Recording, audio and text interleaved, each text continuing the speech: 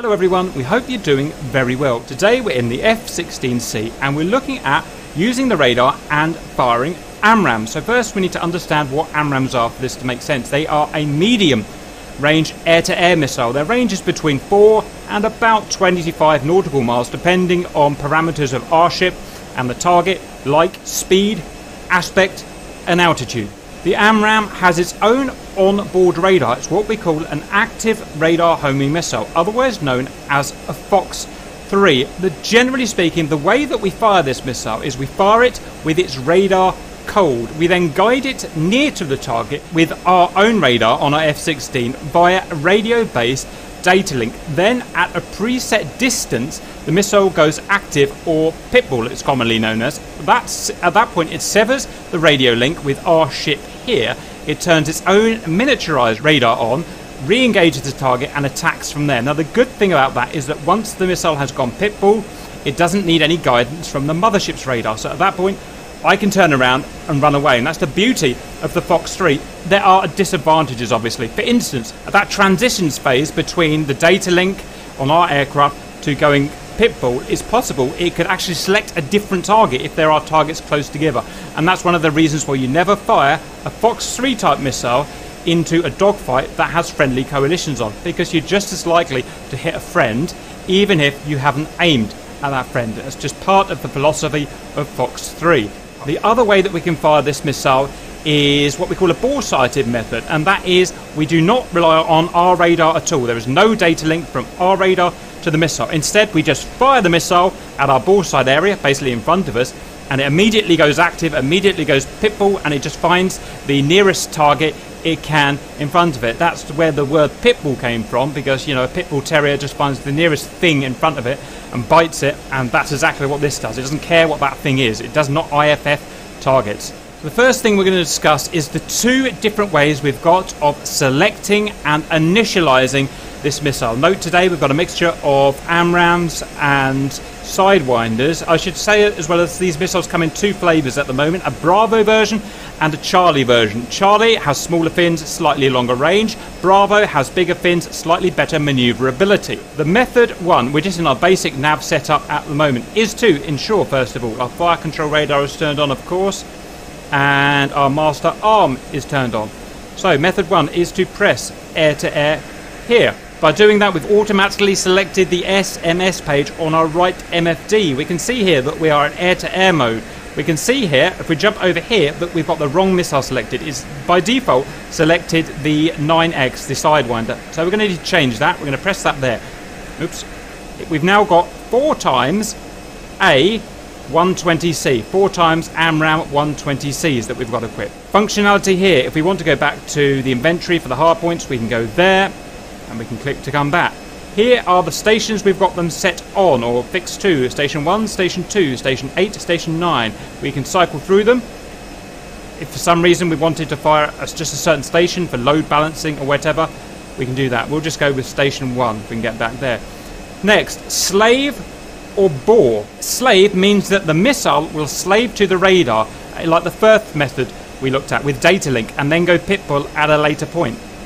Bore means that it will ignore our onboard radar and will only use its own radar. So slave will always be the default and the most common thing to use. It's much more useful than the bore. We can also use one of our HOTAS buttons to change that. That is RDR cursor slash enable. That's not working at the moment, but that will be a thing, so just bear that in mind. In terms of HUD, you can see things of interest. Our master arm is on here. We've got four times MRM, medium range missiles selected. Other symbology we'll go through in a little while. Now we've got to look at the second way of selecting the missiles. So first things first, I need to put myself back to a nav mode. So just normal nav mode there, no weapon selected now. The second way is if we press this guy here, dogfight missile override. So if we press that, that has overridden any mode that we're in and has basically taken us through to the missile mode. It's automatically selected the four AMRAAMs there and we can see pretty much the same stuff down here. We're in missile mode now rather than air-to-air -air mode. It's very similar otherwise and the other functions are going to do the same thing. So those are the ways that we can select and initialize the missiles ready for use. So next we need to look at the three different ways we've got of targeting and firing this missile at a hostile. Method 1 is using the CRM or BVR mode. That's generally long range, generally above 10 miles. Method 2 is ACM mode, generally within 10 miles. And method 3 is the bore sight method without a radar lock. So first, CRM mode or BVR mode. We need to go and get our radar set up for this. We've got tutorial videos on CRM or BVR and ACM radar usage, so we're not going to go through it. We're just going to go and get it done. So I'm going to turn now and look for some targets, lock a target up, and we'll talk about the new symbology. While I'm searching for targets, we should go through some more controls. To select a target in CRM, we're going to double switch target management up there or a single for SAM mode. We can also use this to select our ACM mode, to select SOI, Sensor of Interest, for our MFD, for our FCR, we can use DMS down to fire the weapon, push weapon release button. Any more buttons that we use, I'll let you know on the fly. So, contacts on our CRM, on our FRC, sorry, our FCR fire control radar. So, what we're going to do is move our move our cursor towards them. I'm going to. You can fire the missile on this type of lock, I'm just going to pause here, we can either fire this AMRAAM on an SAM, a situational awareness mode lock, like we've got here, or we can go for what we call the full-blooded STT. Uh, we're going to go for the full-blooded STT in this case. I'll pause, TMS up again. Okay, that is now an STT. We're now going to move ourselves just a little bit closer and talk about our new symbology. We've got our target designator box here. This, this basically frames the target, and the target is in the middle there. Next is our weapon sensor diamond. So we know where the sensor of this selected missile, uh, Station 1, is looking because it's looking where that diamond is going there. And you can see because we have it in slave mode, it's slaved itself to the target there, our target designator box. Wherever that target designator box goes, within slewable limits, the missile diamond will go as well. So we know what the missile's thinking. As usual, that's our flight path marker, that's where we're actually traveling. Interestingly, if our target designator box here went outside of the HUD, which is very common, we would have a line drawn from our gun sight cross or our bore sight cross here towards the direction of where that target is to help you recapture that guy in your HUD. It's very normal to do that. This circle here is a dynamic circle and it's incredibly important that you learn this. This is the ASE circle. It's something you'll find in all modern jets and all modern fourth gen jets ASE, allowable steering error. Now that couples with this guy here. This is the ASC, but most people just call it the steering dot. So you're going to call this guy the steering dot. The name of the game is before you fire the missile to maneuver your aircraft so that the steering dot here is as close to the center as our ASE circle here as possible. And it's all about flight efficiency of the missile. You want to give your missile the best possible chance you can of hitting the target. And that means firing it at exactly the right angle. Almost certainly this guy is not going to be coming directly towards you, which means you need to add lead. And that lead could be a lot. The missile, the target could be there, and you may need to aim all the way out here. That would be a perfectly normal thing to happen. So I am to maneuver. So this is in the center of this. And the best way of thinking about it is the efficiency that we give to our missile is directly proportional to the distance between the center of our ASE circle and this dot here. Another way of saying it, the closer this is to the center, the better the shot will be. So it's an important thing that you have to do. Note, the ASE circle can get a little confusing. Sometimes it's small, sometimes it's massive. It depends on parameters, speeds, closure rates, altitudes, aspects, and so on. So it's important you identify which is the ASE circle and which is your steering dot. So that's aiming. Next is ranging. When we get a lock like this with our radar guided missile, we have our dynamic launch zone. I'm framing the dynamic launch zone here. Now this has caused a little bit of confusion and this may change at some point. It's currently October 2019. Here is top of this particular range scale. This is dynamic and the range scale will change depending on our current range. 40 nautical miles in this case, zero miles on that little tick down there. This caret is showing on that scale how far the hostile is away. Well, if that's 40, that's 20, then about 17 or 18 nautical miles away from us. This is a closure rate. This is very important in knots, how fast we are closing on the target. And very importantly, in this case, is minus 50. He's actually going 50 knots faster than we are. He's getting away. And things like that closure rates will change massively the range of this missile. Next, yeah, it's a bad example, this one, because we've got three marks that we're interested in. Depending which generation of plane you come from will depend which actual name you call this, but I'm going to call them by their generic names. First of all is R-Max Aero, and I'm going to put on the screen at this point the NATOPS, so if you like from the real F-16, and I'm going to put probably down here the DCS description of these different lines. Different people call them different things, but just be aware. So the very top line will be R-Max Aero. That is assuming that the hostile does not change course at all, the maximum range at which I can fire the missile and it will hit him.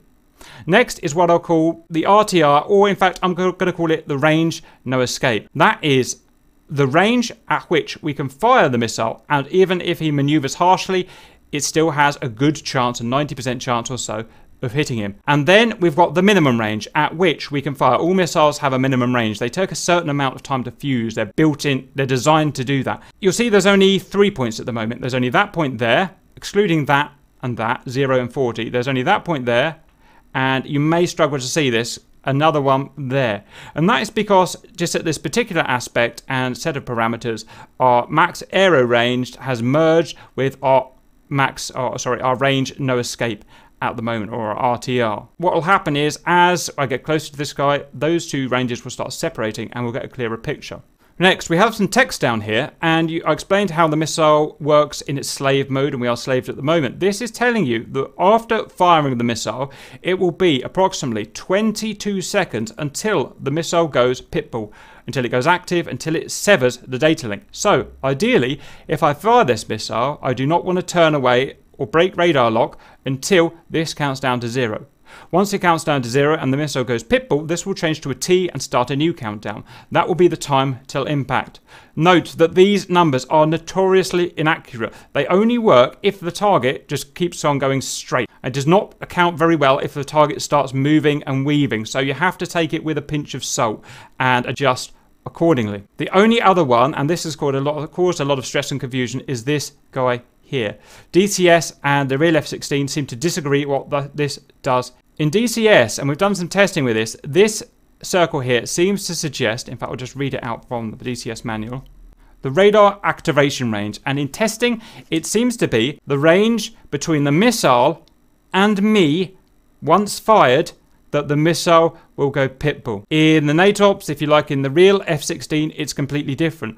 In the real F-16, if I can find the text, it says something along the lines of that this here is the range at which the missile goes pitbull and it's measuring between the distance between my ship and the hostile ship.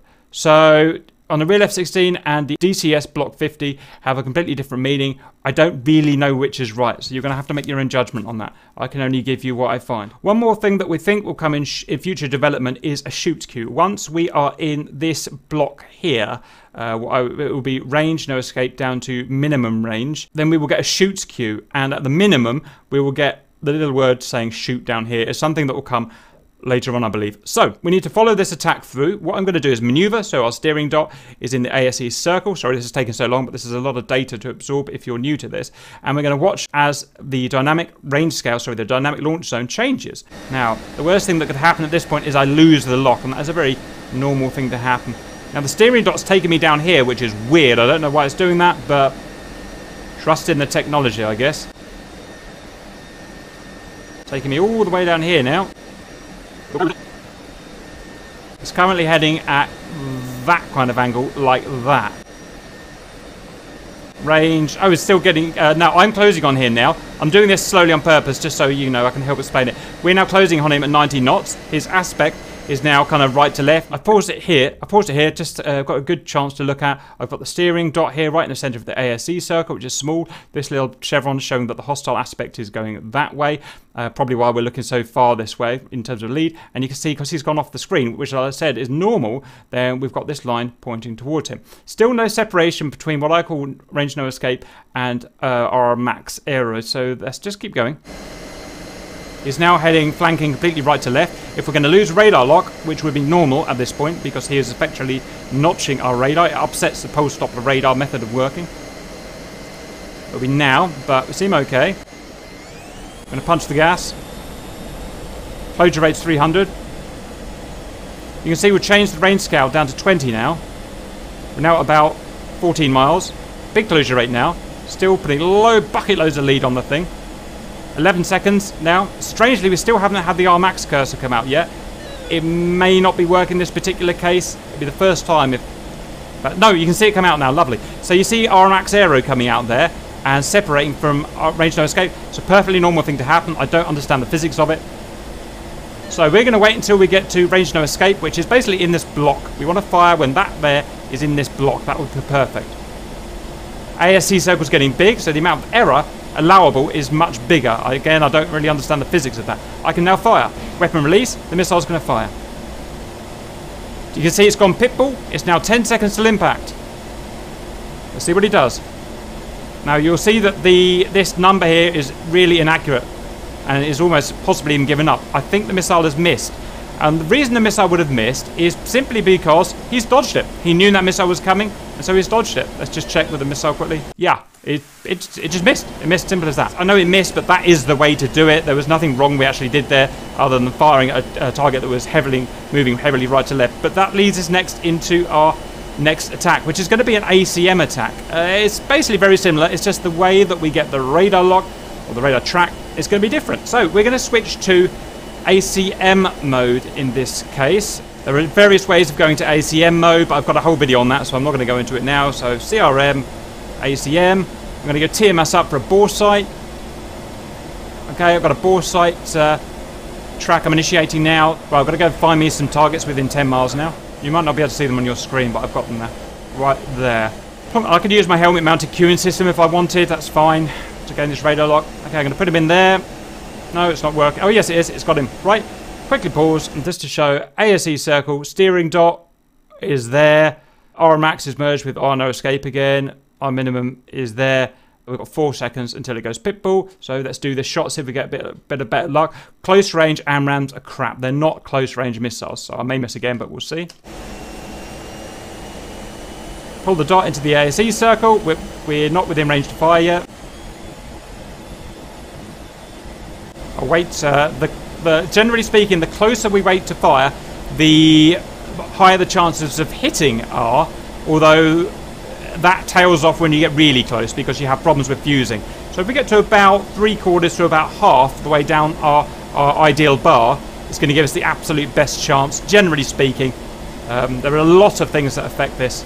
So if I find now, he's really going to struggle to beat that. It's right in the middle of the ASE circle. Fox 3, Right, let's hope it works this time. There it goes. All that lead it's got to put to hit the missile. Which one's it? Was it? It's this one here. Look at him dodge. You see him dodge down there. He's going to miss. He's going to dodge it. No, he's not. Beautiful. That's that. Okay, next is the bore sight methods. This is going to be completely different. So, I'm going to take myself out of ACM. So the way this is going to work is that in bore sight, I'm just going to prove it to you. I'm going to turn my emissions off. That's our radar turned off. We've got no more radar. I'm going to find a target um, uh, visually and I'm going to put him in this bore-sighted ASE circle. You see no radiation there. This bore-sighted ASE circle.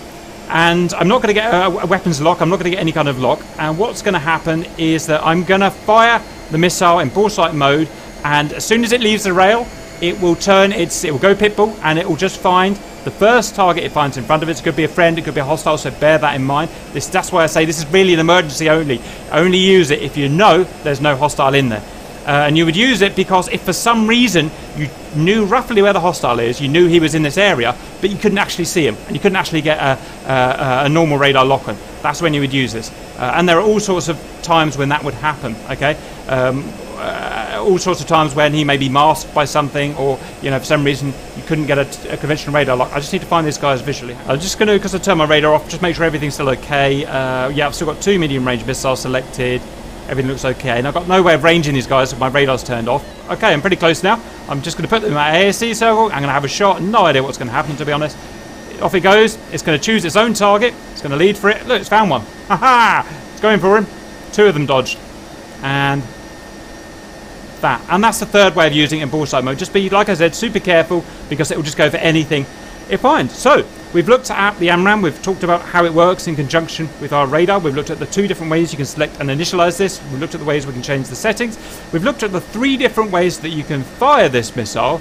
Uh, and that's it. Just be careful with them. Remember, do not fire them if you know a friend is with a hostile in the distance because 50 50 chance whether it kills that hostile or your friend. Hope that was useful and see you later.